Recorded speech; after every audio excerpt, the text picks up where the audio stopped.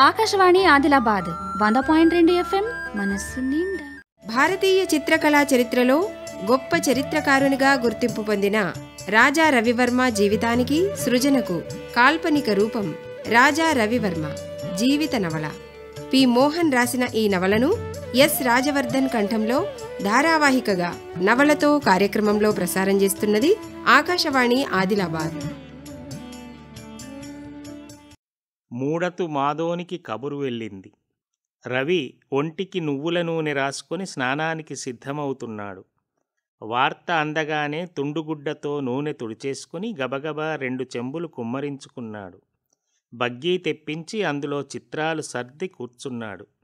Governor విశాఖం మధ్య మాటలు పొడిగా సాగుతున్నాయి. నిజానికి నేను రవివర్మ స్టూడియోను చూద్దామనే ఇక్కడికి వచ్చాను. మీరేమో అలాంటిదేమీ లేదంటున్నారు. అతడు ఇంట్లోనే వేస్తాడండి. మా చిత్రకారులకు ప్రత్యేకంగా స్టూడియోలంటూ లేవు. చాలా విచారకరం. ఆర్టిస్టులకు కాస్త ఏకాంతం కావాలి. రవికి మీరు చక్కని స్టూడియో ఒకటి నిర్మించి ఇవ్వండి. అతడు మీ దర్బారులో ఉండటం మీ అదృష్టం. ఎంతో భవిష్యత్తు ఉంది నేను ఇంతవరకు ఈ దేశంలో రవిలాంటి కళాకారుణ్ణి మహారాజుకు చిర్రెత్తుకొస్తోంది. మా నగరులో చూడ్డానికి చక్కని ప్రదేశాలు చాలా ఉన్నాయండి.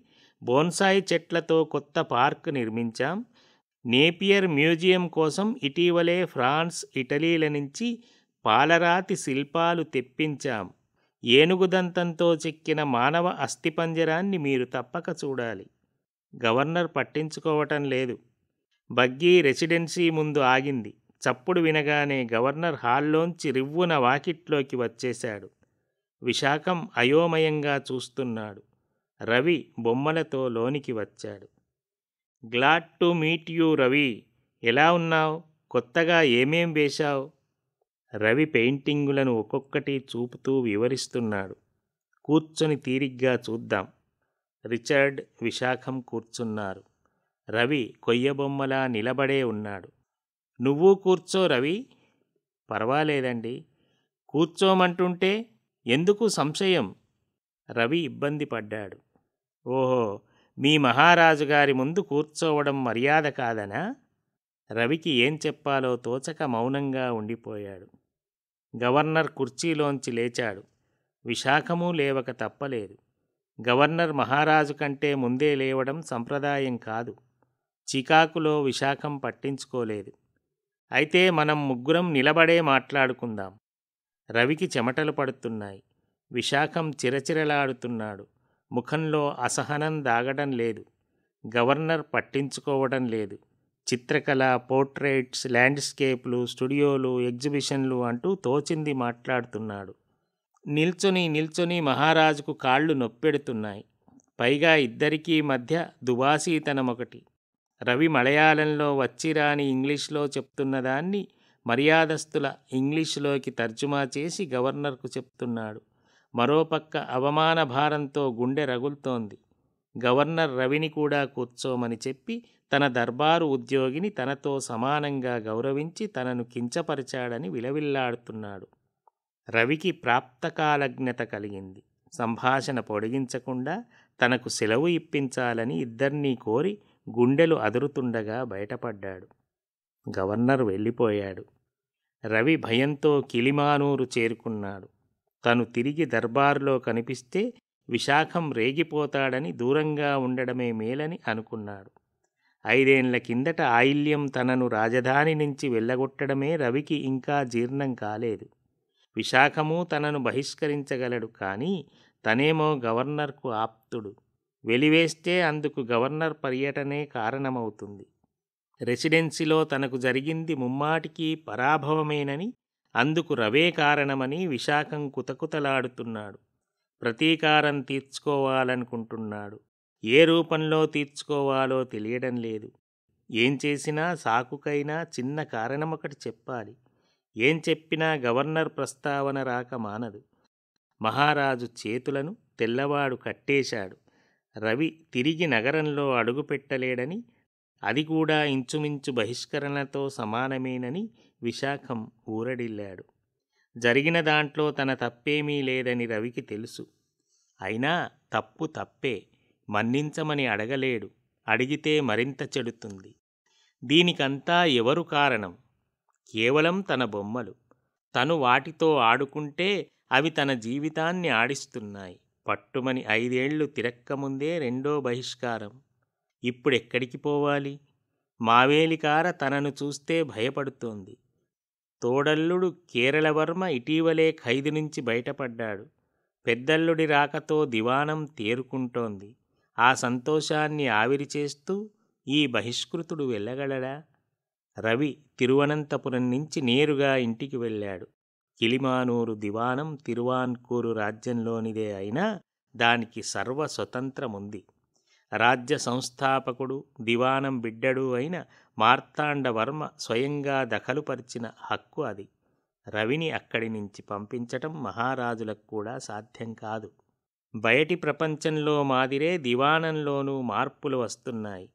మీనమామ రాజరాజవర్మ సన్యాసాశ్రమం ముగించి వానప్రస్థానానికి సిద్ధమవుతున్నాడు. తల్లికి వయసు పైబడింది.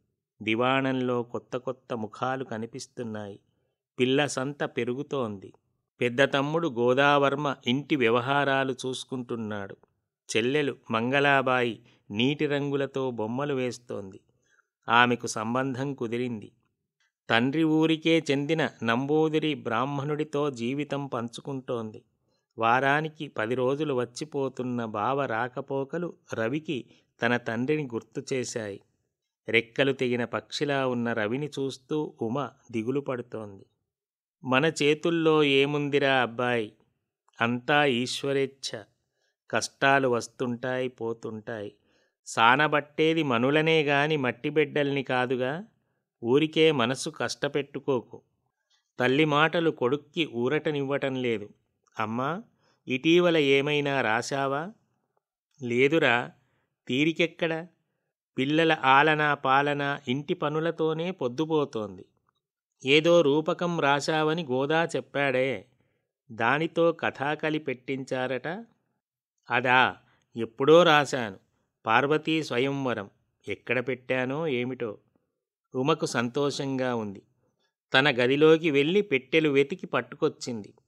నాలుగు పేజీలే ఉన్నాయి. రవి కొంత చదివి తల్లికే అందించాడు. ఈ రాత్రికి దీనితో కథాకలి పెట్టించమ్మా. ఉమాబాయికి సంబరమైంది. రాత్రి భోజనాల తర్వాత చావిడిలో ఆట మొదలైంది. పెద్ద కంచు దీపాలు వెలిగించారు. పట్టు యవనిక తొలగింది. ముఖం నిండా పసిరిక పచ్చ కళ్ళ వద్ద నలుపు పెదాల వద్ద ఎరుపు. నుదిటిపై తెల్లబొట్టుతో గడ్డానికి తెల్ల చుట్టీతో కథాకాలి పరమేశ్వరుడు ప్రత్యక్షమయ్యాడు. తలపై దగదగా మెరిసే కిరీటం కళ్ళు చెదిరే దుస్తులు నడుముకు తెల్లటి బుట్టగంపతో రంగస్థలంపై కదులుతున్నాడు. పార్వతి పసిమిచాయతో నెత్తిన ఎర్రని మేలి ముసుగుతో ముసిముసిగా నవ్వుతోంది. మృదంగాలు తాళాలు మోగుతున్నాయి. శివపార్వతులు కళ్ళను ఆకర్ణాంతం తిప్పుతూ కనుబొమ్మలను లయబద్ధంగా విరుస్తూ ముడుస్తూ రక్తి కట్టిస్తున్నారు. గోదావర్మ మెడకు బారెడెత్తున్న నిలువుడోలు చెండను తగిలించుకొని శృతిలయలు తప్పకుండా మోగిస్తున్నాడు. మరో దాయాది మద్దలం ప్రధాన గాయకుడు కర్రతో కంచుపల్లెం చెంగిల కొడుతుండగా మరో యువకుడు తాళాలు వాయిస్తున్నాడు. ఉమాబాయి కంఠం సవరించుకుంది. పులకించె పార్వతీ పెళ్ళికలతో వలచిన పరమేశు చూచుతూ మేనకా హిమవంతులు మరిమరి మురియగా సకల దైవతములు ముదమునయాడగా పులకించె పార్వతి ఉమాబాయి లీనమై పాడుతోంది. కొడుకు పారవశ్యంగా వింటున్నాడు. ఆకాశవాణి ఆదిలాబాద్ వంద పాయింట్ రెండు ఎఫ్ఎం మనస్సు